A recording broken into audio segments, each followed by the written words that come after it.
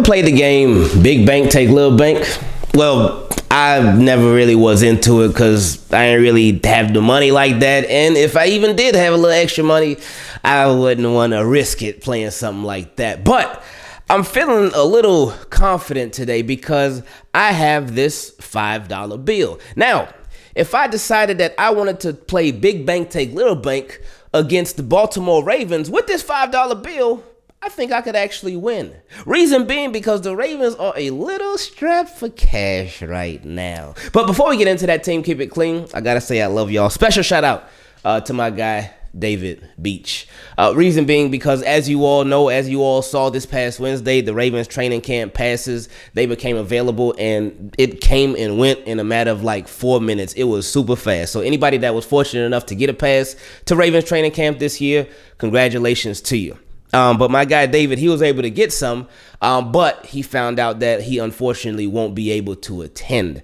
Uh, so he did hit me up uh, and ask if I knew anybody that needed some. And I said, yeah, one of my guys was actually looking to take his family there. Uh, so I gave him his contact information and he was able to transfer the tickets uh, to my boy. So shout out to you, David. I really appreciate it. He really appreciates it. Uh, and we really appreciate you here on Team Keep It Clean. So thank you for that. Now, the Ravens. Oof you know what? Let's just read the report verbatim, straight from Brian McFarland, eh, who is Raven Salary Cap on Twitter. Please make sure you follow him, please, because all things Raven Salary Cap. I don't know how he gets it. I don't know, but I ain't asking no questions because he's obviously on point. He's been on point for years. He's trustworthy, factual, all that good stuff, reliable. Yeah, he, he's A1. Anyway, um, Brian McFarland on Twitter, he put because you remember Justin Houston, the Ravens originally put the tender on him, that unrestricted free agent tender, um, and he would either be he had three options. If he didn't want to play for the Ravens, then he wouldn't be able to play at all. So he had to retire. Uh, but if he did want to play for the Ravens, he could either um, have signed the tender or like it's some crazy deadline. Anyway, um, they were like, you know what, scrap the tender we just gonna sign you back on a one year deal. Um, they made the deal official, they announced it and all that, but we just hadn't heard about the cap numbers for that deal.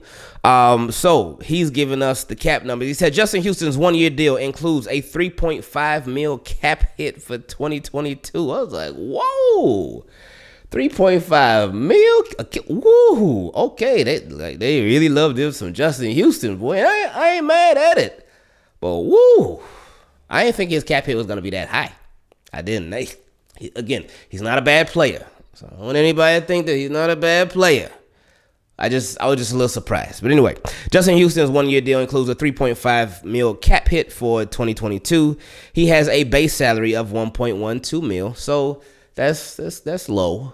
But then the signing bonus is 2.38 mil, uh, or some combination of a signing bonus and a roster bonus that equates to 2.38 mil. So that's cool. All right, we got that out the way.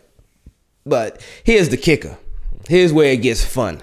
The Ravens now have only $672,240 in cap space.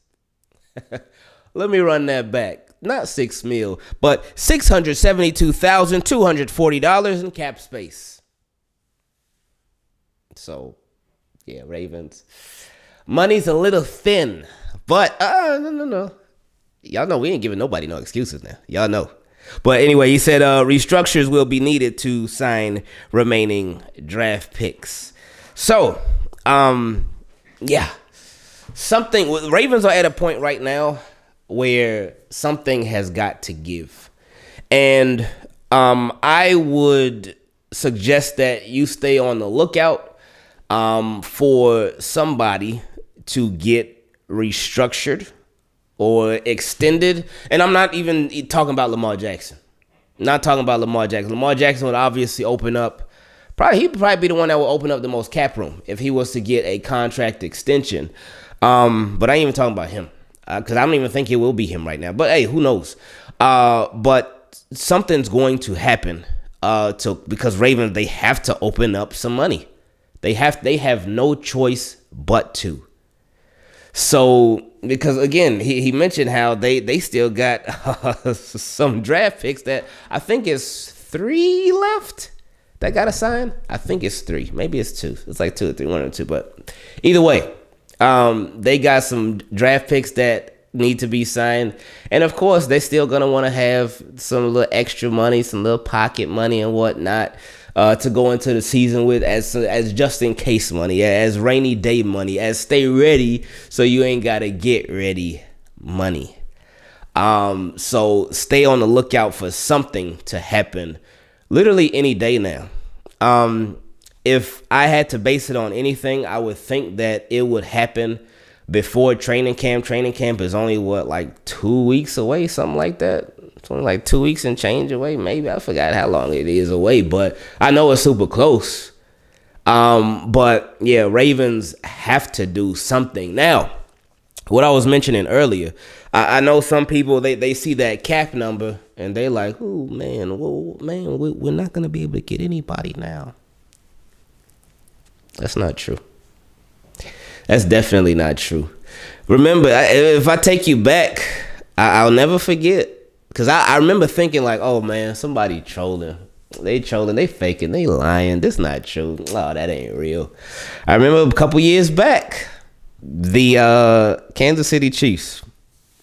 Kansas City Chiefs had one hundred seventy-seven dollars, not one hundred seventy-seven thousand. They had $177 in cap space. $177. They gave an extension to, I think, Chris Jones, Tyreek Hill, Travis Kelce. Was that the year that Patrick Mahomes got extended to? I don't even remember. But my point is they were still able to get it done. They they gave the extensions, those extensions opened up the money, and you know the rest of the story, so on and so forth. And I, I don't even have to remind you about what the New Orleans Saints be doing over there because they flip and finagle this thing every single year. And then of course the Rams. Oh, please don't even talk to me about no run. Actually, do do talk to me about the Rams because that's a conversation that I love having. Um, but my point is and this ain't even to get into the, the, the whole debate where people make it extreme. Oh, you just want to be like the Rams? You just want to do things like the Rams do? Is that the only way that works? No. Um, but what I'm saying is that the Ravens, yeah, that that when you see that number initially, that oh man, six hundred seventy two thousand in cap space, ooh, yikes. Yeah, it, it can initially look like a ooh, yikes, but it's the NFL. So they they could they could work this thing and they will work it out um, to where where they'll be able to obviously sign their draft picks and they'll still be able to have some more money to do some other stuff too. It's just a matter of how are they gonna get it done? Are they gonna approach Ronnie Stanley? Are they gonna approach Marlon Humphrey? Are they gonna approach Mark Andrews? I think he would probably uh, be a candidate uh, because he's in the second year of his new deal. Um, and it's usually the newer deals that get approached first. Could they be like Marcus Williams? Hey man, we need to do a little flip, a little maneuvering with your contract.